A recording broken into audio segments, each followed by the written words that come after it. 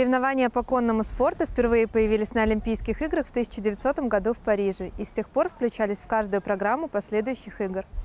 Наибольших успехов на Олимпиаде в этом виде спорта белорусы достигли в 70-80-х годах.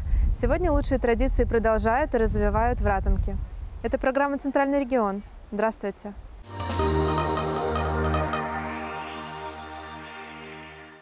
История центра фактически началась в 1962 году, когда в 35 километрах от Минска в деревне Королева была организована республиканская конно-спортивная школа. А в 1965 году она была перенесена в Ратомку. Позднее там же был организован и конный завод. С 70-х годов Ратомку стали отстраивать как большую всесоюзную базу. Сюда был приглашен тренер, э, заслуженный тренер СССР Мухин Сергей Борисович по троеборью.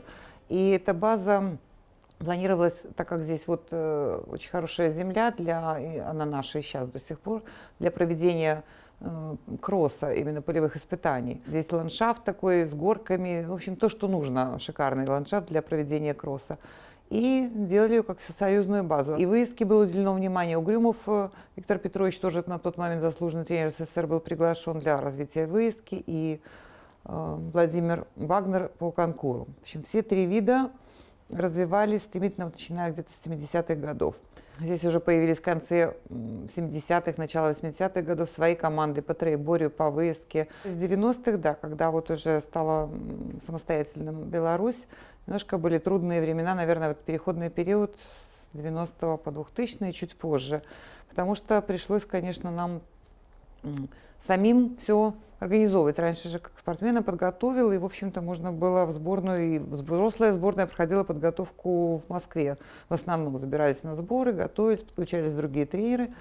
А, в этот период уже пришлось все делать самостоятельно. Было объединение произведено э, Республиканской школы высшего спортивного мастерства и конного завода имени Даватора. Объединение это дало возможность создать такой центр. Это по указу президента. И теперь мы имеем все землю, мы имеем конный завод, имеем как бы, саму школу, ну, то есть спортивный отсек, и все внутри выращиваем сами корма для лошадей, обеспечиваем, обеспечиваем конным поголовье как бы и школу, и, в общем-то, реализуем лошадей для других э, конно-спортивных школ республики. Сегодня Республиканский центр олимпийской подготовки конного спорта и коневодства – это современная база европейского уровня, где есть пять манежей с покрытием по международным стандартам, конкурный стадион, тренировочные поля, троеборная трасса, конюшни и ветеринарная клиника. А еще база уникальная тем, что тренироваться здесь спортсмены могут бесплатно. Во-первых, из постсоветских, только вообще в трех э, ну, бывших республик – это Россия, Украина, Беларусь сохранен конный спорт, э,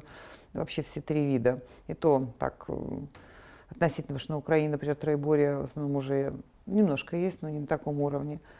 Основные так уже не конкурентоспособные, так будем говорить.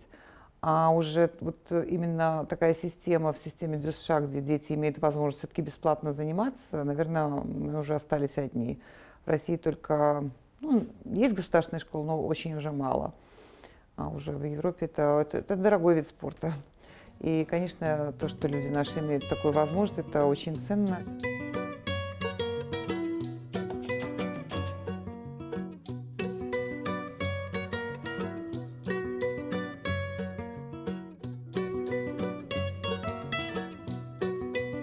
Базе нашего центра существует школа, э, где детки могут прийти и научиться заниматься конным спортом, э, где они могут познакомиться с новым для них миром, с миром лошадей, э, найти к ним подход.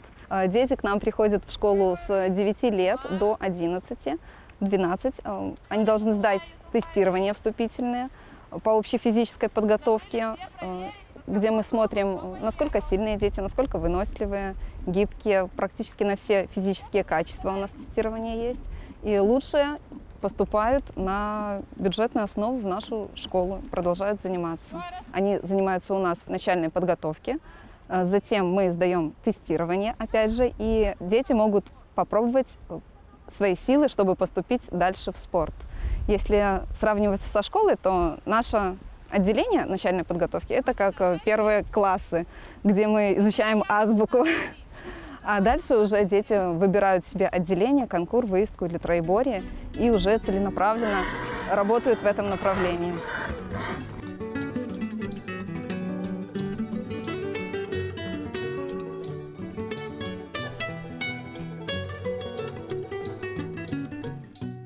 Самый главный критерий – это любовь к лошади и желание заниматься конным спортом. Конный спорт, он, в принципе, возрастной э, такой, но мы стараемся набирать детей помоложе, с 9 лет, чтобы у них было как можно больше спортивной жизни, карьера продолжалась.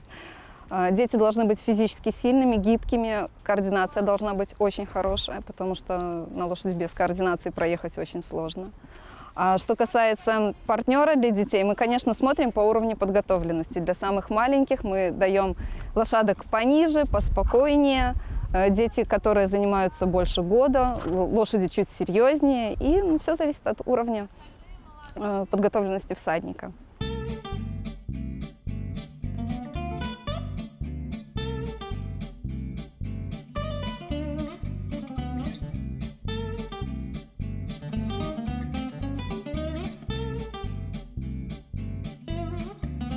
Очень давно любила лошадей, почти с детства, и э, всегда хотела заниматься конным спортом. Вот мама исполнила мою мечту, записала меня на конный спорт. Поседлаться мне, конечно, трудно, потому что я такого роста низкого. Так помогают девочки, компания хорошая. Ну, сложного, в принципе, ничего нету пока что. Мама говорит, когда я нахожусь в обществе, я уже успокаиваюсь. Ну, по характеру обычно различают лошадей всякие наездники. Вот мне она по характеру нравится, тем, что она такая ну, более, более послушная.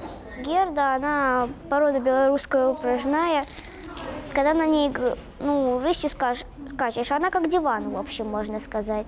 Хорошо слушается меня. Бывают люди падают, не, не бывает такого человека, который не упадет, только если какой-нибудь супермен, например. А так, если упадешь, ну, вот я уже один раз упала, ну, Ничего страшного не было. Я уже этого не боюсь. Я планирую дальше заниматься, конечно, трудиться, стараться, пытаться всего добиваться.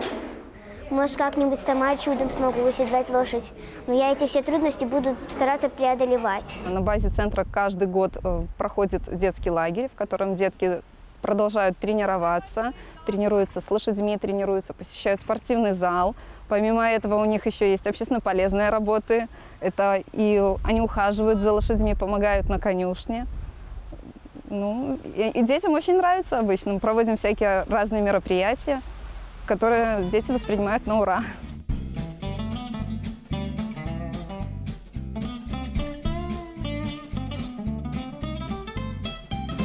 По моим наблюдениям, сейчас просто Большинство вот девочек почему-то задерживаются, не выдерживают нас мальчишки. В, ну, в конном спорте не может быть такого, понимаете, быстрого ну, как-то роста.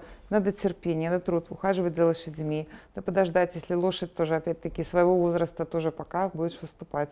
Вот сейчас как-то даже не две трети, уже больше. Еще как приходят, так и остаются. Где-то вот мои годы, наверное, я приходила, было наоборот, такая пропорция. Ну, в принципе, в принципе, это мировая тенденция. Есть еще один дополнительный мотив, которого нету в других видах. Это любовь к животным. И они приходят, и те, кто любит ухаживать, они действительно, это становится их образом жизни их.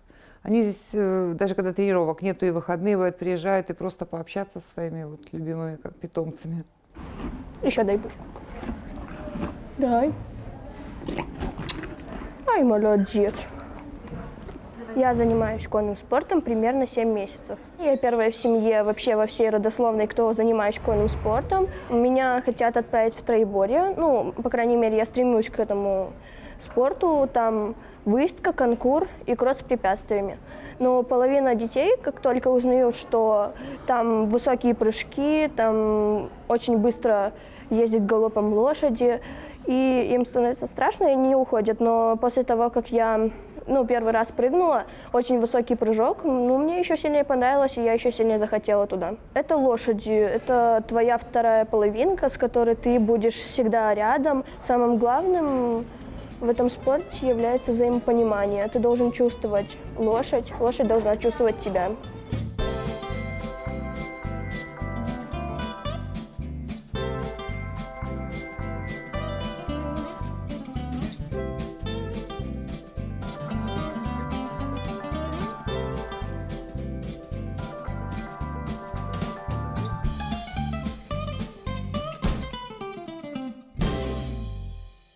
Впереди краткий дайджест новостей столичного региона за неделю и реклама. А я напомню, что все эфирные видео доступны на нашем сайте, а также на YouTube-канале столичного телевидения. Заходите, смотрите, подписывайтесь, оставайтесь с нами. Летние лагеря открыли свой сезон по всей Минской области. Так, например, Забренок в Мядельском районе принял на отдых не только белорусских ребят, но и детей из Сирии. Они проведут на берегу Нарочи 15 дней, посетят достопримечательности нашей страны, поучаствуют в культурных и спортивных мероприятиях. Также в Минской области для школьников доступны лагеря дневного пребывания, оздоровительные, профильные, военно-патриотические и IT-лагеря, где у ребят будет возможность провести каникулы с пользой. Нашествие клещей наблюдается в Солигорском районе. Уже более сотни человек пострадали от укусов клещей. Треть из них – дети. С начала сезона в медицинские учреждения уже обратились на 20 человек больше, чем в прошлом году. Причем случаи зарегистрированы не только за пределами райцентра. Почти 9% из них произошли в черте города. Специалисты еще раз напоминают о важности самоосмотра после посещения зеленых зон. В Минской области готовятся к переписи населения. В Воложенском районе уже обозначены планы мероприятий накануне масштабной государственной программы. Подсчет будут производить путем личного опроса населения и использования административных источников. Всеобщая перепись жителей нашей страны пройдет в октябре следующего года.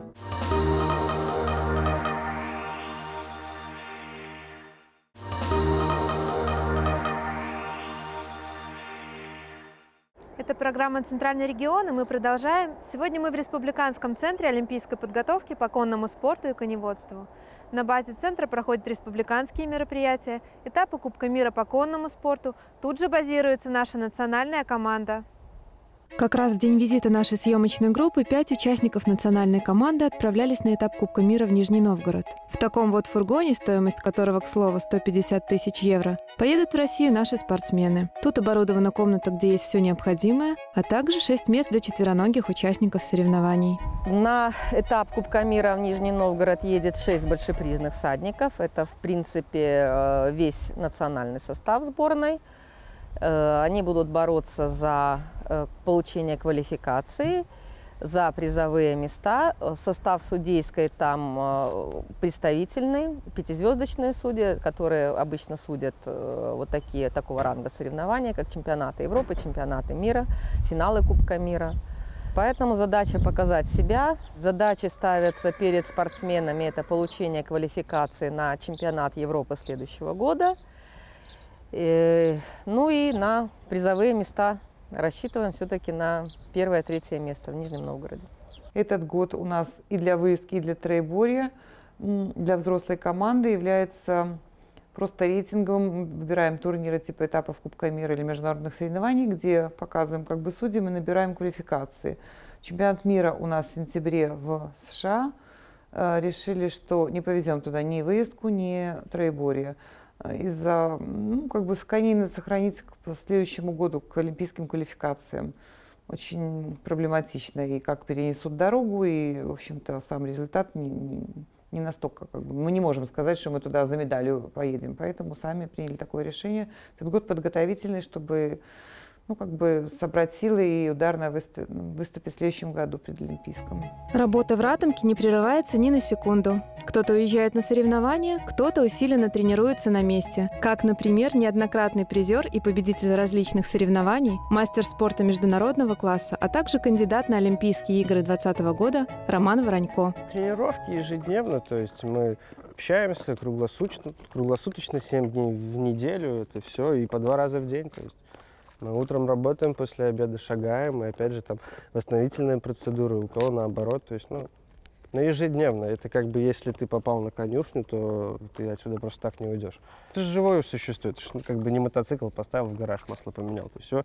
Надо покормить, если есть собственные кони, то есть надо пойти покормить их. Лишний раз дать им больше сена, например, воды налить им. То есть просто угощение дать, морковки, яблоко купить, принести. Это жеребец фарсинг. Фарсинг у меня жеребец. Он мне попал, когда ему было еще три года совсем. В этом возрасте эти лошади почти ничего не умеют. Сейчас ему уже 11 лет. Мы с ним попали, я его вырастил. То есть у нас, чтобы попасть, например, в нацкоманду, это надо выступить норматив уровня трех звезд. То есть, если так, ну, ориентировочно, то на Олимпиаде у нас 4 звезды. И вот нам надо начинать с легкого класса, потом одну звезду, потом две звезды короткие, потом две звезды длинные, потом три короткие, три длинные. И это достаточно все очень долго, и это занимает большой промежуток времени. То есть это нельзя в одном сезоне, то есть у нас сезон начинается вот как снег сходит и как снег ложится, вот у нас это сезон начинается.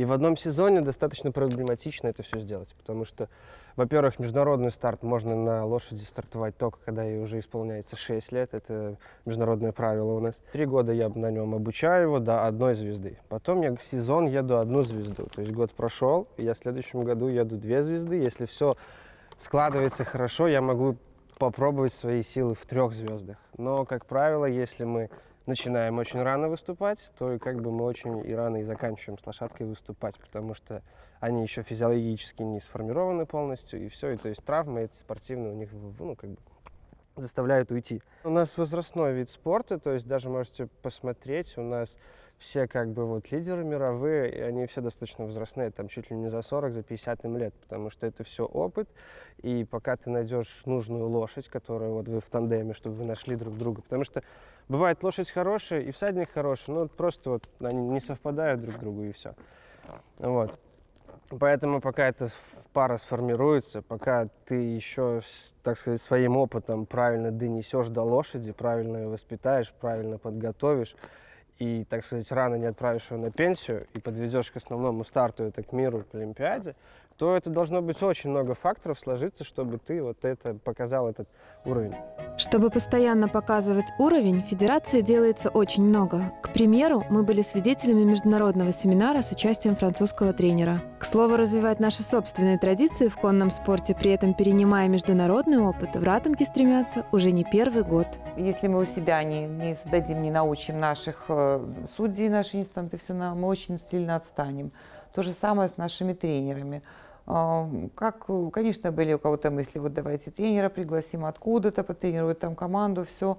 К нам приезжал один очень, Жан-Филипп Камбулив, вот несколько лет приезжал на семинары, он говорил, что этот опыт, он в никуда. То есть тренер приезжает, он тренирует команду, когда он уезжает, свои тренеры настолько как-то ну, растворяются, ну, что не происходит толчка внутри. Надо учить только своих. И мы пошли э, системой семинаров. Мы уже более 10 лет почти ежегодно проводим семинары, пользуясь услугами Олимпийской солидарности и с помощью Национального олимпийского комитета. И через э, у нас хорошее такое плотное сотрудничество с ВИС, Международной федерацией конного спорта.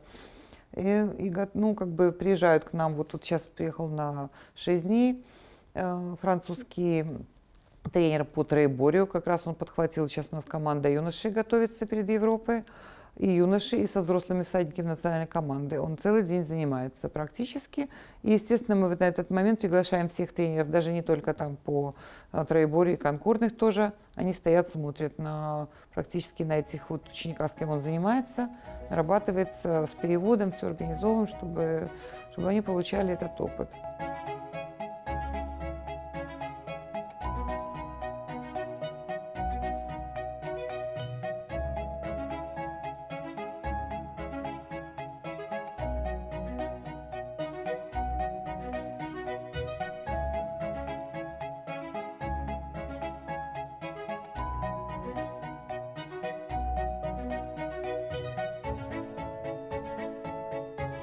Это, получается, уже второй семинар с э, французом Эдуардом Лежендре.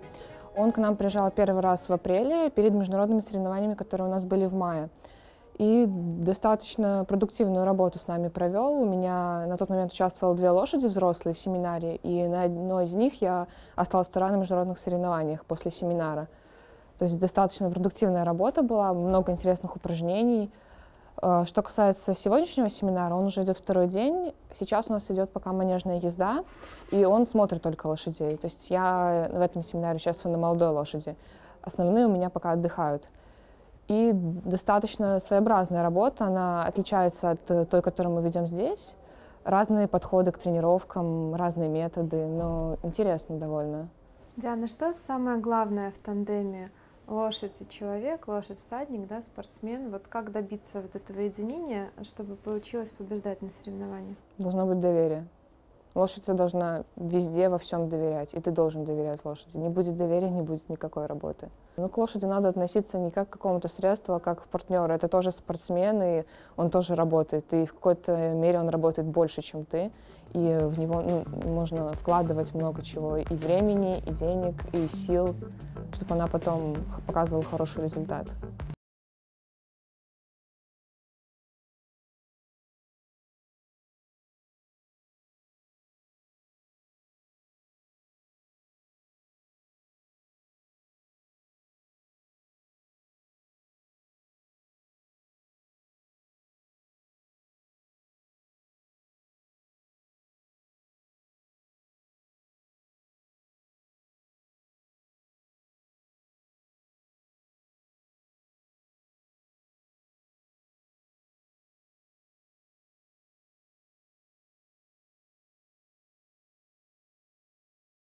Вид спорта, где человек, партнер у него лошадь. Это партнер, это не оборудование, это не лодка, не лыжи, не велосипед, не машина даже. Потому что в машину вы посадите человека и скажете, вот коробка, вот здесь э, вы так ручку поверните, здесь так, и машина поедет. Здесь нет. Здесь, как бы вы ни сказали, пока лошадь не поверит, даже если вы сделаете все, как вам кажется, как сказал ну, тренер в этот момент, лошадь может отвлечь какой-то фактор, она живая, и она совершенно ну, не так вам ответит. Поэтому животное надо чувствовать, это надо учиться взаимодействовать, чтобы она вас понимала на уровне интуиции, на уровне ваших воздействий. А воздействие, когда вы сидите сверху, может только через э, ваши средства управления. Это руки, которые идут вот к уздечке лошади, это ноги и, естественно, равновесие, сам баланс корпусом, как вы ловите ее движение, насколько вы мешаете или, наоборот, помогаете в ее движениях, и тем более там в прыжке. И обучение лошади очень долго занимает.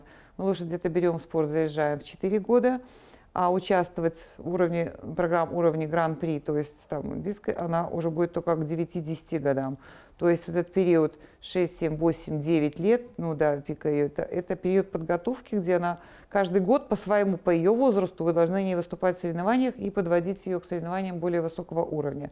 Без предыдущих ступенек вы не перепрыгнете и не сможете участвовать в более сложной программе. На это уходит много времени, труда. Опять-таки, да, бывает так, что в процессе в середине, вот в 7 лет или там 8, вы понимаете, что ваша лошадь, ну не хочется ей прыгать, вот все ей дано, а не хочет она прыгать. Опять-таки тот же момент, что я говорю, что как машину идеально сделала, и она все равно будет соответствовать.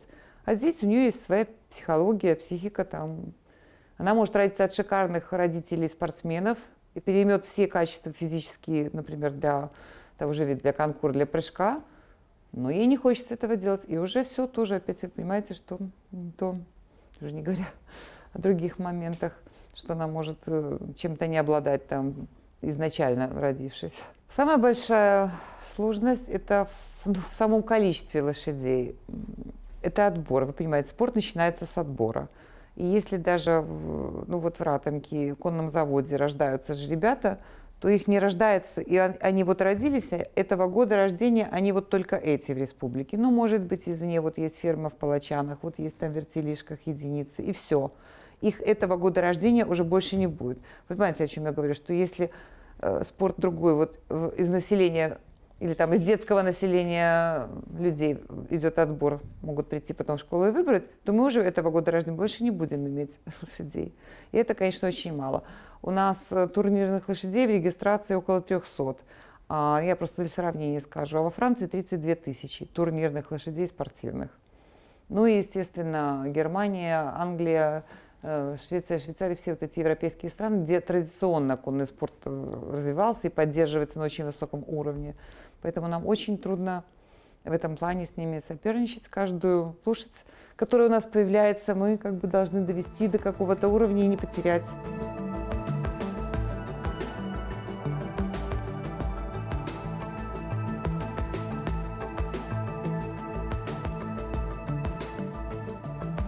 Мы проводим четыре крупных турнира почти каждый год. В Ратом мы понимаем, что приехать это полдня посвятить. Это же не, в городе пойти на два часа. Когда мы проводим соревнования, мы стараемся организовать и детские городки, естественно, точки питания. И когда погода здесь у нас отлично. Когда мы по выездке проводим весной соревнования проводили этап Кубка мира. Последний день, финальный день собрал очень много людей, были полные трибуны, и люди были довольны. Ну, организовали им все, заполнили все паузы показательными выступлениями, собачками, концертами, детскими представлениями. Надеемся, что вот кто уже попал и был доволен, в следующем году